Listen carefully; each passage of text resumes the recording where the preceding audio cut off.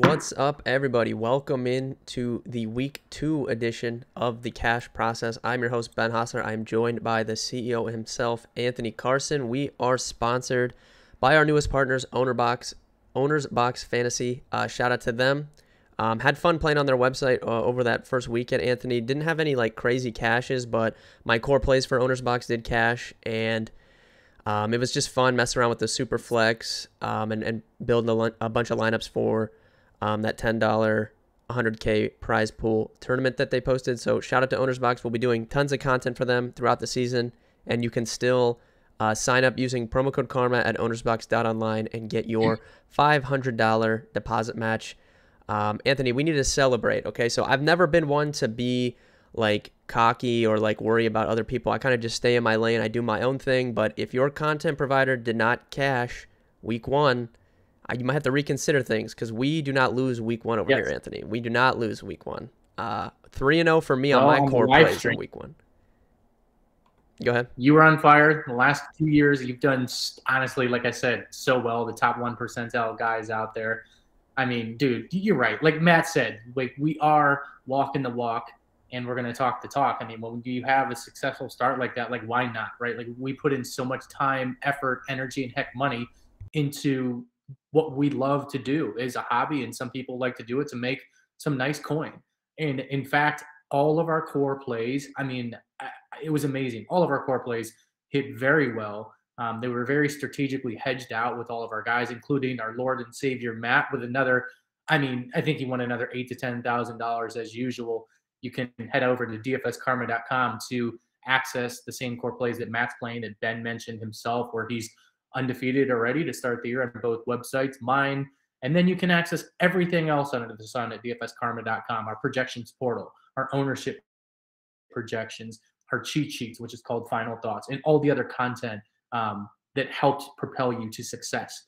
Yeah, it was a great week one. Um, I don't really have else, much else to say, man. I mean, sometimes we come on here after a really tough and lousy week, and we're kind of, you know, talking about what we did wrong, and we will do that. Like I'll talk about my my DraftKings lineup and where I made a mistake in cash games. But I had an amazing week overall with props, betting, FanDuel, tournaments on DraftKings. I did miss out on DraftKings cash games, but again, Ben runs the cash game core play at, at uh, dfskarma.com.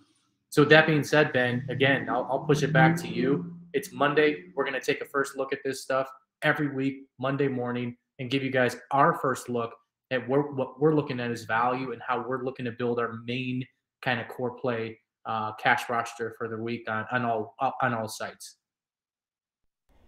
Yeah, so I feel like in years past, like a lot of times we, we would be doing this maybe like Tuesday evening. So if we're gonna be doing this early Monday, like this is a, a true first look, right? This is our honestly like first time I'm pulling up the the slate. You know, we don't have projections uh, yet for the slate. Those come out Tuesday afternoon on our website. So um, this is a true first look, and yeah, I don't want to like sound cocky. Like obviously, I made mistakes. I had a lot of Mike Williams in tournaments. Um, that didn't work out. I swapped uh, Jahan Dotson to Randall Cobb in my cash game lineup uh, at like 10 a.m. yesterday. That uh, did not work out. But Justin Jefferson, single digit ownership on DraftKings, that really kind of separated me. I couldn't believe uh, he was that low owned. And I want to shout out, I don't even know who it was. I forgot to check, but someone, someone like classic just panic after the early early like first half of the early games. Someone tweeted at me, Anthony. They're like, "Dude, why are you playing X th- this tight end in in cash? Like, why are you playing this lame tight end in cash?" Like, guy tweets at me at like 2:30 and then we end up smashing. So whoever that was, I know you're watching this video. I'm waiting for my I'm waiting for my apology uh, because I we, love the trolls. Bring yeah, them out. Bring them out. Yeah, we we played that cheap tight end so I could get 40 points from Justin Jefferson at at eight percent ownership. But um, yeah, we, we love it. Love, hate, whatever. We, we love all of the all of the comments, especially here on YouTube. But like you said, we're gonna dive in. We're just gonna look at these uh, early prices, go through each position, starting off at quarterback. So uh, once again, Anthony, I think the theme when we, we did this week one podcast like two weeks ago, we did it early. I said the theme of this was where are the good games because Bills Rams was not on the main slate. Uh, Bucks Cowboys did not end up being a good game, but that was a high over under, not on the slate. And that's kind of happening this week too. I mean, there's a couple decent looking games, but overall, 350 uh, total games are not on the main slate. Two Monday night, one Thursday night. So it looks like another kind of just okay slate. Um, I think early look for me, cash game quarterback Trey Lance sticks out 5,700. He's just too cheap if he's going to run the ball 13 times a game. I don't care how he played in real life uh, because we're playing fantasy football. He's going to run the ball a lot. He's at home. Uh, weather should obviously be significantly better than it was in Chicago yesterday. And other than him, I mean, you could sell me on like that Arizona Vegas game has the highest over under right now that I see posted. That's going to be targeted. Um, and then you have like Lamar. So like Lamar and Trey Lance, I probably that that's probably like the decision for me early. Do you agree with that? Yeah, no, I do. I mean, if you got the money, again, it's Monday, right? So we don't know all the value. We'll talk about like the situation, ironically, in San Francisco, the running back, and there could be a couple others maybe in the Steelers' backfield. But, you know, taking a first look at the slate from wide receiver to running back, I mean, there's some sexy options that I want this week, and, and we'll get to those. So I'm paying down. Um, to your point, I don't care about week one. Listen, I'm kind of all in on Trey Lance with best ball, even my season long team. Uh, we're going to buy uh, on week two here. I mean, if he had a good game and there wasn't weather issues, he'd be utter mega, mega chalk. I mean, maybe his price wouldn't be at 5,700, but Monday morning right now, you know, I think I'm going to pay up elsewhere and play the game that, you know, we have played historically, Ben, and that's pay down at quarterback. I feel like that has worked for us over time. Um, and that's generally, I think, how I'm going to construct my lineup this week, looking at it at first glance. Again, if, if there is a ton of value that opens up, Lamar's probably the guy. Um, yeah, yeah. So that's that. Yeah, I agree. Um, and like like I said, we're doing this really early Monday morning, so don't take what we say like and just build your lineup and set it and forget it. Like obviously we'll have more content coming out throughout the week. Um, so outside of those two guys, like is there anyone that just sticks out early for like maybe tournaments or pivots? I think like I said, Derek Carr looks a little bit interesting at 6,200. Obviously, like you know Joe Burrow, you can play every single week. Um, guy threw four picks yesterday, and like they still almost won the game. It's just like hilarious. But um, yeah, I think J- Joe Burrow, Derek Carr, I think are are interesting, and there's some other cheap guys too. Maybe you can make the case for. Yeah, I mean, depending on how tonight's game goes, Russ Wilson's probably going to be, you know, one of those tournament lineups, especially if they score a ton of points tonight. You know, he'll be a, a hot commodity. Again, it's it's Houston. I know they looked somewhat okay against Indy, but um, you know, traveling to Denver is no joke playing in the high altitude, especially early in the season when these guys aren't conditioned. They're coming off an overtime game too, right? There's an extra full quarter there. I mean, that stuff does add up, especially early in the year. Russ will probably be popular, but I, man, I got my eye on Stafford. You know, again, talk about like a Trey Lance scenario, not looking good. You know, the public, you know, oh, you know, his arm, it's it's hurt. I, I get it, but 6,300 against the Falcons, you know, Jameis Winston just lit him up. I, I, like Stafford a lot this week. And you're right, maybe Carr gets popular at that price point. So I don't think Stafford goes overlooked, but that's a guy I'm looking at as a tournament pivot. Yeah, before we move to running back, that's a great call. I was going to bring that up. So the name of the game in week one is trying to get ahead of what people are projecting or like things that you think are mistakes in projections or fragile or whatever, which is kind of like what I did with Justin Jefferson. And then the name of the game in week two is not overreacting to things that you saw in week one. Everyone saw Matt Stafford. Oh, he's washed. He sucks. Now he's at home against Atlanta on a, you know, obviously basically like a mini bye week after that that Thursday night game. Like they've been off for so long. So I think that's a really good call and someone that uh, I will consider in tournaments.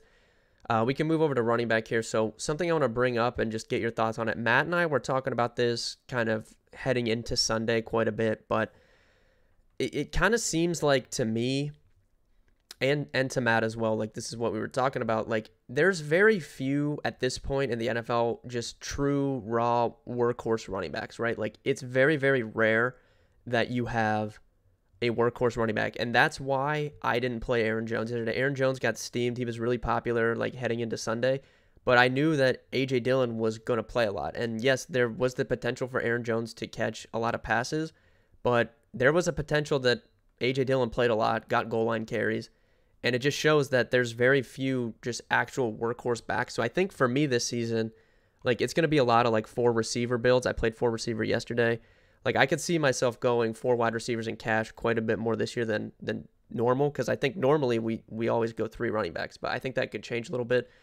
Um, so I just want to lead into running back with that. That being said, Jonathan Taylor and McCaffrey at the top. You don't need to discuss those guys. I mean, McCaffrey didn't play great yesterday, but that was like a weird game for the Panthers. I mean, they basically got like no first downs in the first half. Like they just didn't have the ball.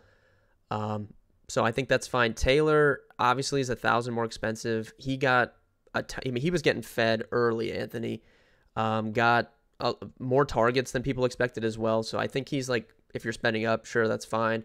Kamara is just no way I play him uh, ahead of Barkley. So Barkley is one of the guys that I think is a, a workhorse running back, right? Coming into this season, played yeah. really well yesterday. He c- catches passes. Um, they're at home against Carolina, who the Browns just ran all over, right? Nick Chubb, Kareem Hunt, like it just seemed like they were running through wide, uh, wide open running lanes. So I think Barkley's a great play, and then the guys at the top. Um, what's your thoughts on just the four receiver builds in cash, and then like the top of running back right here? Well, it's interesting. I kind of like did a little eye twitch because you're right. I mean, I don't think like that enough, and I feel like we talked about that last year a little bit more, right? The the drum beat was getting louder on the four wide receiver, uh, you know, play, and I think that's something I need to just tell myself it's okay to do because historically I never do it in cash games. Um, you know, and kudos to you. I mean, you kind of made that move last year a little bit more than I did. I did at times, but I do think it's very valid. I mean, you and Matt hit the nail on the head I felt like that looking at the slate week one. I'm like, man, all these guys, it's like, you know, obviously we live in Cleveland. We talk about the Browns a lot, but it's like, dude, Chubb and Hunt. I don't know. I mean, they're both amazing. I mean, but that's just extrapolating that to basically most of the team. It's kind of unless it's CMC or Jonathan Taylor. So totally agree with you um, on that. Uh, it does suck that Barkley just absolutely went nuts because just watching that Browns Carolina game a little bit more than you know other games on the slate you're right. The Browns absolutely dominated, you know, in the trenches. You know, Hunt scored twice, but I mean, Chubb looked unbelievable. So I think Barkley's going to go off. I think he's an absolute lock. Depending on money, you know, CMC still is under 9K. I mean, you got to get exposure if you're making the three max build and CMC and Taylor are not in your cash games. You have to get exposure to one or both in your three max entries. I'll say that. I'll talk about three max entries more and more, like I said, you know, throughout the um, these type of podcasts throughout the year. Uh, as we go down, though, Ben, I do think, you know, just looking at the slate, I mentioned in the beginning that we are going to have to pay up at receiver this week. Um, what are your thoughts? I mean, you know, again, we haven't even had the Monday night game, but J- Javonte Williams, 6,500. Fournette's coming off a good game. I don't think people will touch him. They'll be scared of New Orleans. Hunt's too expensive. I do think Gibson could get some run against Detroit at 6,200. He seems favorably priced. Other than that, I mean, you want to talk about the Jeff Wilson scenario, the Steelers backfield, Steelers backfield, um, and any other value type plays on the slate that might open up. Yeah, so definitely we'll have to wait and see on some of these injuries. Najee Harris, he could miss, um, but his back they they price some of these backups up. So Najee Harris presumed backup is Jaylen Warren. He's like 54, 5,500. So that's not a crazy discount. Um, Eli Mitchell, presumed backup Jeff Wilson. He's like 5,100. Um, so that could maybe come into play a little bit more. But I, I agree that Antonio Gibson could get some run in what is expected to be a, a pretty good game. I was encouraged by by his usage yesterday for them. You know, obviously he kind of ran pure with Brian Robinson uh, not playing, but they did trust him with like a pretty full workload. So agree with that.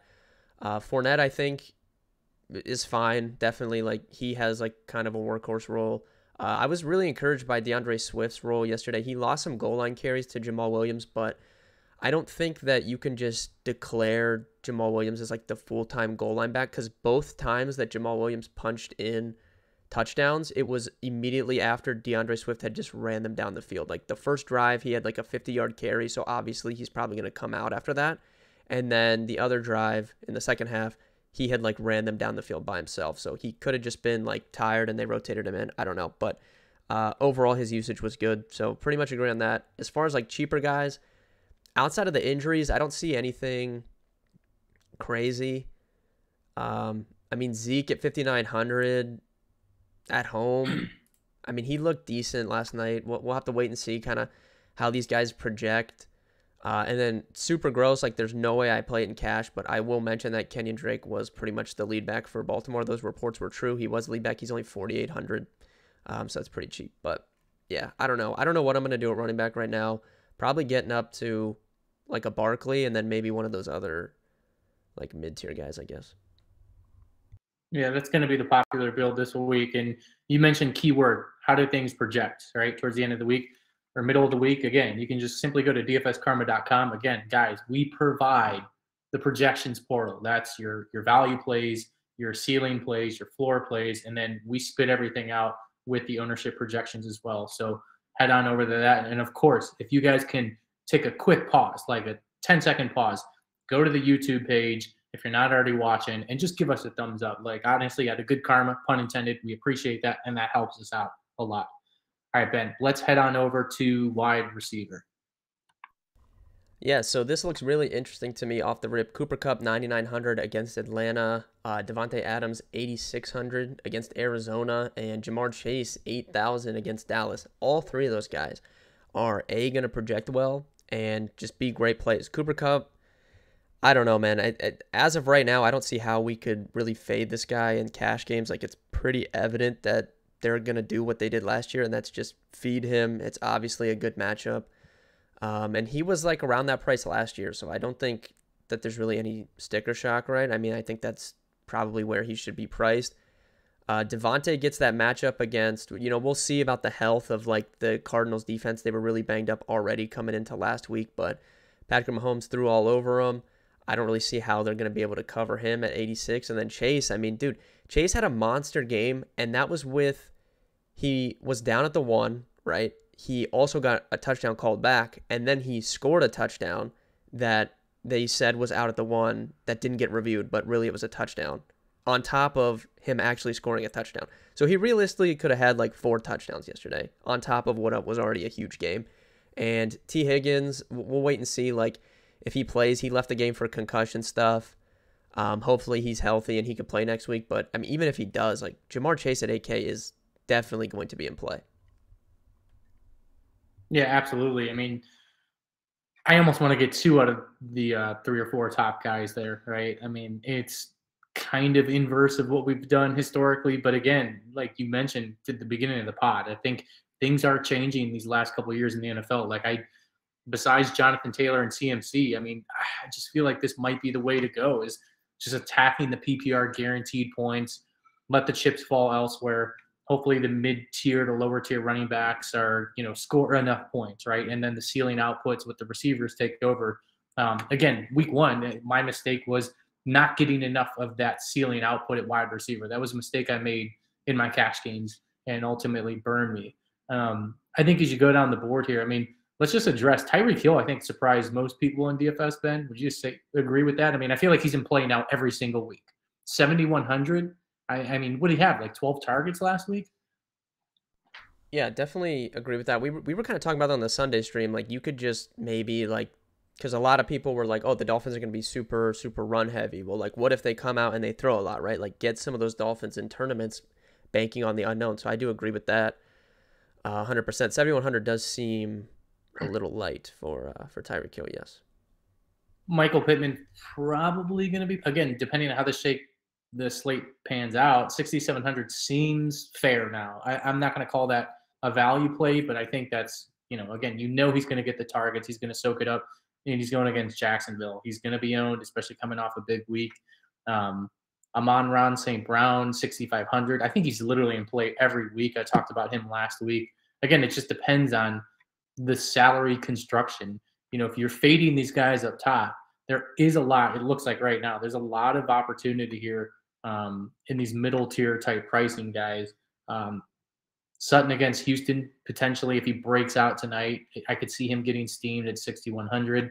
You mentioned we'll have to take a look at Tee Higgins going down the board. Christian Kirk I think is going to be in play every single week until his price moves up even further. 5700 seems fair, you know, for the opportunity he's going to get there. What do you think about Kirk? Yeah, so I was gonna say this five to six K tier is absolutely loaded. So Sutton and Jeudy both uh, we'll see what happens tonight on Monday Night Football. Both are going to be in play against Houston 100%. Michael Thomas is 5,800. He did not like lead the team in targets, but he looked like Michael Thomas. He scored two touchdowns, and he's only 5,800. Christian Kirk dominated the target share uh, for Jacksonville. Um, it's clearly like Trevor Lawrence likes to throw to Christian Kirk, and he's 5,700. Uh, Julio Jones it looked healthy on Sunday Night Football, and now Chris Godwin might be out for this game. He's only 5,500. Like, this tier is pretty loaded. I'm not going to lie. 5 to 6K looks like the money spot, I think, right now. Yeah, I'm just kind of making a basic lineup right now. I, I love this core that I got. You know, Trey Lance, Barkley, Kupp, Pittman, Kirk. Now, that does not leave nearly enough salary However, we'll, we'll, monitor the slate, guys. And I think already we haven't even gotten to tight end, but I think punting at tight end is going to make a lot of sense this week with no Kelce there. Um, let's kind of scroll down a little bit further. Um, we are potentially going to be in need again. I, I just don't want to go to another punt at freaking wide receiver. But you mentioned Dotson, what 4,200. I mean, I'm guessing he's probably going to be in play this week. People are going to go back to that well. I might pivot. I mean, you know, I don't want to call them lucky touchdowns, but that was a, a week one explosion. Um, hopefully, people get on him and I'll be off him. That's just my thoughts this week. I don't think he's a lock by any means. I mean, I think he's an okay price play. It's 4,200. Yeah, I, I just I think Jahan Dotson is like a really good football player. He came out scored two touchdowns in his first ever game, and they barely moved his price up to 4,200.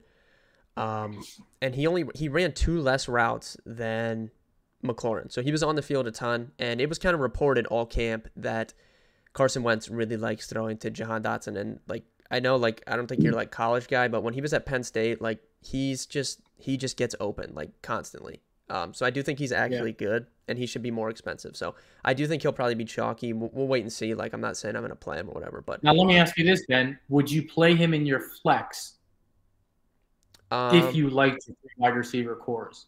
Right. Cause that, that changes things for me. Like if I started thinking in terms of that, I just can't it's hard for me to project him getting in, you know, getting there, right? Yeah, uh, I do think he's like, yeah, I, I think four receiver with the way some of these guys are priced five to six. I think four receivers in play again. And I mean Dotson, I mean like look at the games on the over unders on the slate, right? 44, 40, 46 and a half, 43, 42, 44, 42 and a half. Like one of the best games is that Detroit Washington game. It's 48 and a half, yeah. right? So um, and dude, Detroit's secondary is is not good. Like it's bad. It's gonna it's been bad for years. It's gonna keep being bad. So it's just a dumb price. Um, that could maybe maybe maybe you play him in cash and then just you know don't play him in like your tournaments or something like that. I like it. Anyone else cheap in the 3K range? Nah, I don't see anyone sticking out right now, but obviously, you know, that could change when projections come out. Like, we'll just have to wait and see. We'll, we'll wait and see what happens on Monday Night Football, too, tonight right, let's go to tight end. I mentioned earlier again, this was just off the rip, right? Monday. I, I just feel like I'm paying, I'm taking a punt. But go ahead, Ben. I mean, yeah, Mark Andrews is there. I mean, yeah, I want nothing to do with Darren Waller this week. Just FYI, against that, I feel like they're the middle of that team. That the linebacker core is where you don't want to attack. I know Travis Kelce just had a great game, but that's just my thoughts off the rip. Yeah, so you had asked me. I didn't play Travis Kelce in cash on either site. Um, I don't know if, if, if anyone's new here. Like, if there's one thing I do, I spend down at tight end, like pretty much all the time, um, and I just don't worry about that stuff. Um, and luckily, Justin Jefferson made up for me not playing Kelce. But uh, yeah, we just don't really ever spend up on our main lineup at tight end. It's very rare, I would say. Mark Andrews, sure. Um, you know, you can make the case for any of those guys, but I, I think we're dropping down to this other tier. Like David Njoku's 3,700. He did not play good yesterday, but he played like well over 80% of the snaps. He ran a route on all of Brissett's dropbacks, I think, except for seven or eight of them. So he was on the field a ton. He just didn't get any looks for whatever reason. I, will have to go watch and see like why specifically. But I think 3,700 for him is definitely in play as of right now. Albert O is to play tonight, Monday Night Football. Like, what if he comes out and scores two touchdowns, right? He's 3,700 against Houston. That could be a spot where uh, people want to play him. Um, and there's some other, like, cheaper guys down here that I think are interesting, but it's pr- pretty clear. I think I'll, I'll probably spend down at tight end per usual. Yeah, no, I totally agree. I mean, I don't, I really don't have much to add, honestly. I mean, like I said, I, yeah, if you get the money, Mark Andrews, cool. I mean, obviously play him. Um, you know, Kyle Pitts probably does bounce back. I mean, at 5,400, I mean, it's just hard to trust him for cash right now, especially after last week's performance. But he's he's he's the easy button play in tournaments and three max. Like that's just like I feel like a lock, especially we mentioned with Stafford earlier. You know, you pair Stafford with two. You know, maybe even go Allen Robinson with Kupp or pivot off Kupp because nobody wants to play Robinson this week, and then bring it back with uh, Kyle Pitts in a tournament roster. But um, yeah, there's really nobody I want to play.